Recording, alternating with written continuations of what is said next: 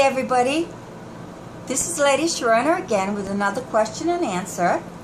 And this one actually comes from a really good friend of mine in Hawaii named Priscilla. Uh, she's kind of more family than friend. I guess she's a wife-in-law or something. but anyway, Chris wanted to know um, how exactly to put oil on a candle for a ritual. Well, Chris, I use my hands. My, my feet aren't very flexible. I don't like, just kidding. okay. I'm sorry, I couldn't help that. All right.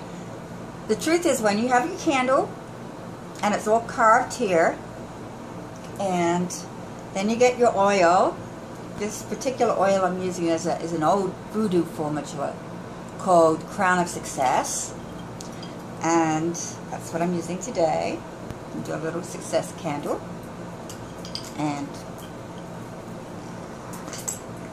so what to do is to oil a candle place a few drops of your oil. It should already be mixed and blessed. And then you start in the middle of the candle and you say this is my desire to be heard in heavens and then brought back down to earth. So you start in the middle so that your wish, the prayer goes up to heaven and the answer, the manifestation comes down to earth. That's how you oil a candle. Okay? So, um, Chris, I'm, I miss doing circle with you again. I, I love your little toothpick man. And you know what I'm talking about. And as far as everybody else goes, that's how to oil a candle. Now, you, there is one exception. If you get a, a seven-day candle in a glass, uh, naturally you're not going to be able to do the whole candle.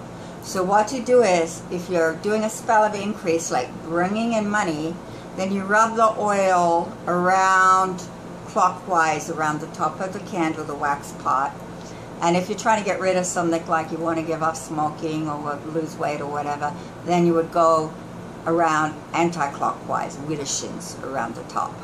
So, I hope that answered your question, and I will see everybody soon. Aloha. Bye-bye.